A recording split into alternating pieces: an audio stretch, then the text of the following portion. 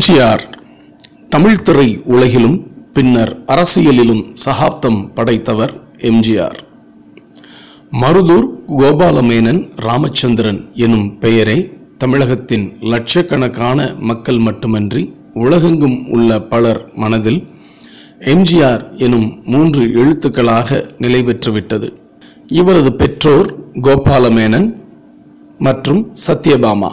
கோபாலமேனன் அரூர் திருச்சூர் கரூர் எர்ணாகுளம் முதலிய ஊர்களில் மாஜிஸ்திரேட்டாக பணியாற்றி வந்தார். அநீதிக்கு துணை போக மறுத்ததால் பல இடங்களுக்கு மாற்றல் செய்யப்பட்டு இறுதியில் அவர் தனது வேலையை துறந்து குடும்பத்துடன் இலங்கை சென்றார். இவர்கள் இலங்கையில் கண்டியில் வசித்தபோது ஆயிரத்து தொள்ளாயிரத்து பதினேழாம் ஆண்டு ஜனவரி பதினேழாம் தேதி எம்ஜிஆர் பிறந்தார். எம்ஜிஆருக்கு முன்னர் பிறந்த இரண்டு ஆண் இரண்டு பெண் என இவர்களுக்கு ஐந்து பிள்ளைகள். ஆயிரத்தி தொள்ளாயிரத்தி இருபதாம் ஆண்டு கோபாலமேனன் இறந்துவிட திக்கற்று நின்றது அவர்களது குடும்பம். பின்னர் நோய்வாய்ப்பட்டு இரண்டு பெண் ஒரு ஆண் குழந்தையும் இறந்துவிட எஞ்சியிருந்தது எம்ஜிஆரும் அவரது அண்ணன் எம்ஜி சக்கரபாணியும் மட்டும்தான். சில வருடங்களில் மேலும் பல சிக்கல்களை சந்தித்த சத்யபாமா தமிழகம் திரும்பி குழந்தைகளுடன் கும்பகோணத்தில் இருந்த தனது தம்பி நாராயணனிடம் தஞ்சம் புகுந்தார். நாராயணன் மதுரை ஒரிஜினல் பாய்ஸ் நாடகக் குழுவில் பின்பாட்டு கலைஞராக பணியாற்றி வந்தார். குடும்பத்தின் ஏழ்மையை சமாளிக்க நாராயணன் சக்கரபாணியையும் எம்ஜிஆரையும் நாடகக் குழுவில் சேர்த்து விட்டார். அப்போது எம்ஜிஆர் மூன்றாம் வகுப்பும் சக்கரபாணி ஏழாம் வகுப்பும் படித்துக் கொண்டிருந்தார்கள். இருவரின் பள்ளிப்படிப்பும் இந்நிலையில் முடிந்துவிட பாண்டிச்சேரியில் நாடகக்குழு வாழ்க்கையை தொடங்கினார். தொடக்கத்தில் சிறு பாத்திரங்களில் நடித்து வந்த எம்ஜிஆர் புராண படங்களில் பெரிய பாத்திரங்களில் நடிப்பதற்கு நல்ல கட்டுடல் தேவை என்பதை உணர்ந்து பல தேக பயிற்சிகள் செய்து வந்தார். ஆயிரத்து தொள்ளாயிரத்து முப்பத்தி ஆறாம் ஆண்டு வேல் பிக்சர்ஸ் என்ற நிறுவனம் எஸ் எஸ் வாசனின் சதி லீலாவதியை திரைப்படமாக தயாரித்தனர். அதில் கதாநாயகனாக எம் கே ராதாவும் போலீஸ் அதிகாரி வேடத்தில் எம்ஜிஆரும் நடித்திருந்தனர். அவர் நடித்த முதல் திரைப்படம் இதுதான். இத்திரைப்படம் S S Vasan MGR N S Krishnan T S Balaiah ஆகிய நால்வருக்கும் முதல் படமாக அமைந்தது. அமெரிக்கரான எல்லிஸ் ஆர் டங்கன் இப்படத்தின் இயக்குனர். எம்ஜிஆரின் இரண்டாவது படம் இரு சகோதரர்கள். இதில் சக்கரபாணியும் நடித்தார். இந்த படமும் வெற்றிகரமாக ஓடியது. இந்நிலையில் எம்ஜிஆருக்கு பார்கவி என்ற பெண்ணை மணமுடித்து வைத்தார் சத்யபாமா. ஆனால் சில மாதங்களில் தன் தாய் வீட்டுக்கு சென்றிருந்த பார்கவி திடீரென இறந்தார். வெளியூரில் நாடகத்தில் நடித்து கொண்டிருந்த எம்ஜிஆருக்கு பார்கவியின் உடலை கூட பார்க்க முடியவில்லை. எம்ஜிஆரின் துயரத்தை போர்க்க சதானந்தவதி என்ற பெண்ணை அவருக்கு மறுமணம் செய்து வைத்தார் சத்யபாமா. இவர்கள் இருவரும் சென்னை நகரில் வால்டாக்ஸ் சாலையில் சிறிய வீட்டில் வாழ்க்கையை துவக்கினர். சில நாட்களில் சதானந்தவதி கர்ப்பம் தரித்திருந்த போது காசநோய் தாக்க கரு அகற்றப்பட்டது. பின்னர் அடையாறில் ஒரு வீடு பார்த்து குடியேறினார். அங்கு வசித்த போது அவரது தாய் சத்யபாமா காலமானார்.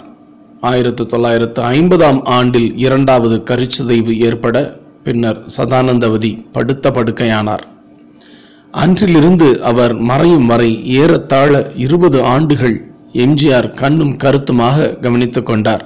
படப்பிடிப்பு முடிந்து நேரம் கழித்து வந்தாலும் சதானந்தபதிக்கு தேவையானவற்றை செய்துவிட்டு அவருக்கு அருகிலேயே படுக்கையில் அமர்ந்து உறங்க வைத்த பிறகு படுக்கையின் அருகே நாற்காலியில் உட்கார்ந்தவாறு தூங்குவாராம் எம்ஜிஆர்.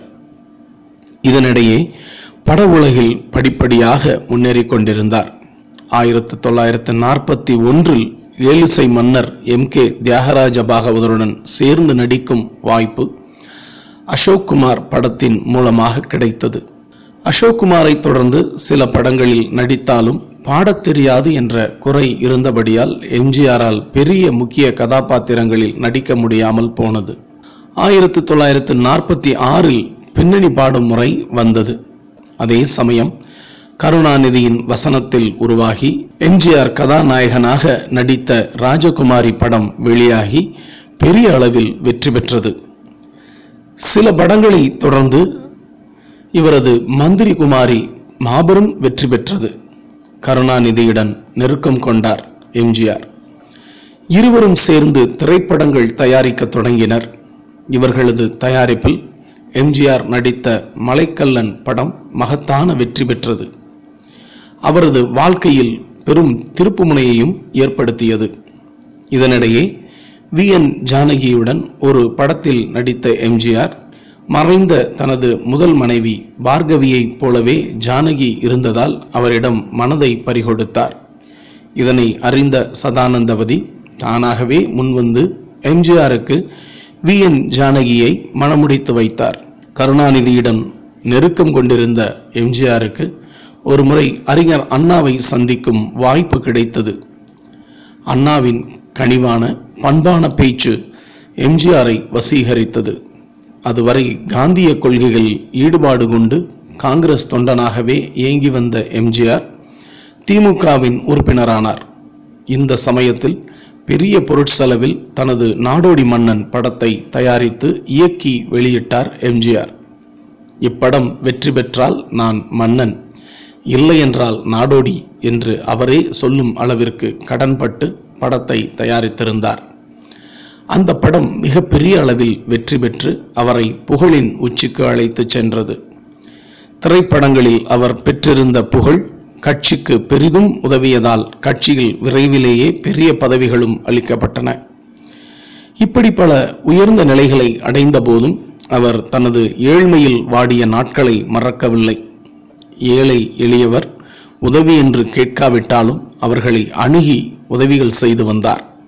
எந்த நிலையிலும் மக்களுக்கு பசி என்ற உணர்வும் உணவுக்காக ஏக்கமும் வந்துவிடக் கூடாது என்பதை கொள்கையாகவே கொண்டிருந்தார். யார் எந்த நிலையில் உதவி என்று வந்தாலும் வாரி வாரி வழங்கி வந்தார். இந்நிலையில் அவரது இரண்டாவது மனைவி சதானந்தவதியும் காலமானார். எம்ஜிஆர் நடித்த ஒவ்வொரு படமும் பெரிய வெற்றி படமாக அமைந்து வசூலை வாரி குவித்தது. அடிமை பெண் ஆயிரத்தில் ஒருவன் திருடாதே எங்கள் வீட்டு பிள்ளை போன்ற படங்கள் தொடர்ந்து வெளியாகி வெற்றி பெற்று வசூல் மன்னன் என்ற பட்டத்தை அவருக்கு பெற்று தந்தது. ஜனரஞ்சகமான விஷயங்கள் மக்களை எவ்வாறு கவர்கின்றன என்பதை அறிந்திருந்த எம்ஜிஆர் தனது படங்களுக்கென தனியொரு சூத்திரத்தை வைத்திருந்தார். சிறப்பான பாடல்கள் பெண்களை கவரும் கதாபாத்திர அமைப்பு இளைஞர்களை கவர சண்டை காட்சிகள் என அனைத்து அம்சங்களையும் கலந்து கொடுத்து தனது படங்களின் வெற்றிக்கு வழிவகுத்து வந்தார். திரைப்படம் என்பது மக்களுக்கு வெறும் பொழுதுபோக்குக்காக மட்டுமன்றி அவர்களை நல்வழிப்படுத்தவும் சீர்திருத்தவும் பயன்படும் ஒரு சாதனமாக இருக்க முடியும் என்று மெய்ப்பித்தவர் எம்ஜிஆர் ஆயிரத்தி தொள்ளாயிரத்து அறுபத்தி ஏழில் தேர்தல் வந்தபோது காமராஜரின் காங்கிரஸ் ஆட்சியினை எதிர்த்து திமுக நின்றது. பரங்கிமலை தொகுதியிலிருந்து எம்ஜிஆர் போட்டியிட வாக்குமனுவை தாக்கல் செய்திருந்தார். அந்த நிலையில் எம்ஜிஆருடன் புதிய படம் ஒன்றை ஒப்பந்தம் செய்வதற்காக அவரது ராமாவரம் தோட்டத்திற்கு வந்திருந்த எம் ஆர் ராதா பேச்சில் ஏற்பட்ட கருத்து வேறுபாடுகளால் துப்பாக்கியால் எம்ஜிஆரை சுட்டுவிட கழுத்து பகுதியில் குண்டடிபட்ட எம்ஜிஆர் மருத்துவமனையில் அனுமதிக்கப்பட்டார். தனது தவறை உணர்ந்து எம் ஆர் ராதா தன்னையே சுட்டுக்கொள்ள முயன்று அதே மருத்துவமனையில் சேர்க்கப்பட்டார். அந்த நிலையிலும் எம்ஜிஆர் ராதா அண்ணனை பார்த்து கொள்ளுங்கள் அவருக்கு தேவையான உதவிகளை செய்யுங்கள் என்று மருத்துவர்களிடம் வேண்டிக் கொண்டாராம். அப்போது நடைபெற்ற தேர்தல் பிரச்சாரத்தில் குண்டடிபட்டு மருத்துவமனையில் சிகிச்சை பெற்று வந்த எம்ஜிஆரின் புகைப்படம் பெரும் பங்கு வகித்தது. ஆயிரத்தி தொள்ளாயிரத்து அறுபத்தி ஏழு தேர்தலில் திமுக மகத்தான வெற்றி பெற்று பேரறிஞர் அண்ணா அவர்கள் முதல்வரானார். ஆனால் அடுத்த ஆண்டே அண்ணாதுரை அவர்கள் காலமாகிவிட கருணாநிதி முதலமைச்சரானார். அவர் முதல்வராக வேண்டும் என்று பாடுபட்டவர்களில் எம்ஜிஆர் முக்கியமானவர்.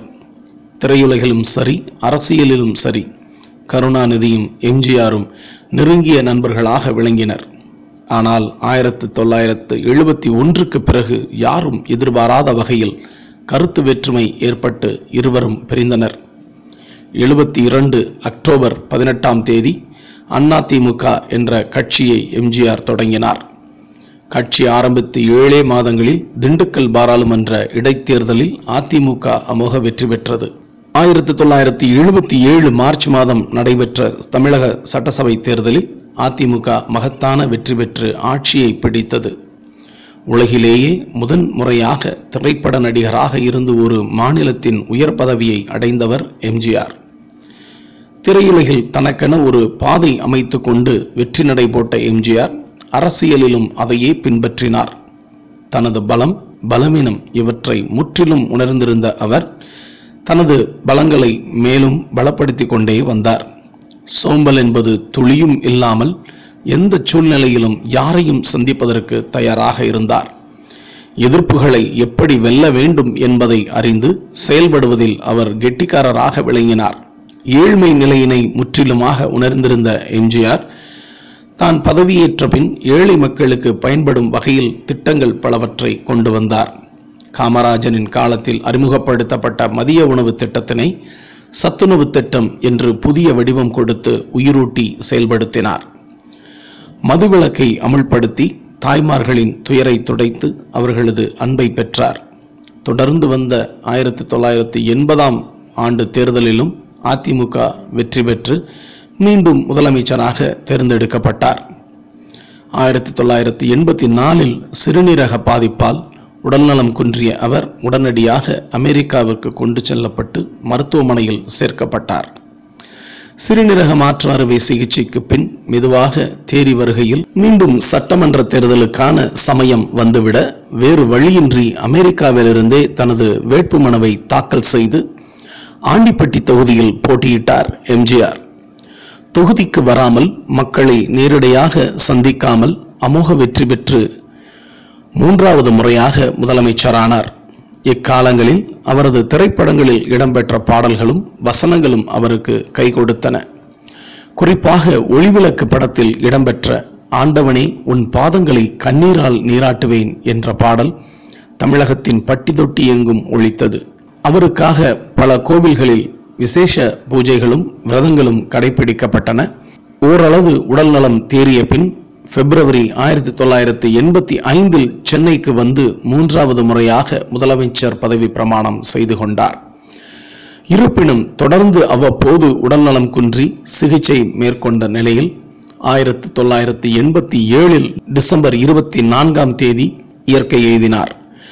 தமிழகத்தில் பலர் தங்கள் குடும்பத்துடன் நெருங்கிய உறவு கொண்ட ஒருவர் இறந்து விட்டதாகவே கருதினர். முப்பதற்கும் மேற்பட்ட அவரது தொண்டர்கள் தீக்குளித்து மாண்டனர். பல மாநிலங்களிலிருந்தும் அவரது உடலை காண ரசிகர்களும் தொண்டர்களும் சென்னையில் குவிந்தனர். தனக்கென வாழ்நாளில் ஒரு வாரிசு இல்லாமல் போனதற்காக வருந்திய அவருக்கு தமிழகமே ஒன்று திரண்டு ஈமக்கிருகைகளை நிறைவேற்றியது. தேவை என்பவர்களுக்கு அவர்கள் கேட்கும் முன்னர் தாமாகவே வழியச் சென்று உதவி.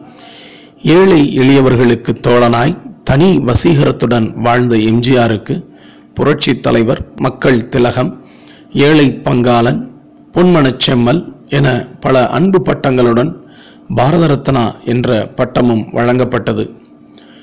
பத்தாண்டு காலம் தொடர்ந்து பதவியில் இருந்த முதல் மற்றும் ஒரே தமிழக முதல்வர் என்ற பெருமையும் அவருக்கு உண்டு. இன்றும் கூட இவரின் பெயருக்கு தனி மரியாதையும் பெரும் வாக்கு வங்கியும் உள்ளன.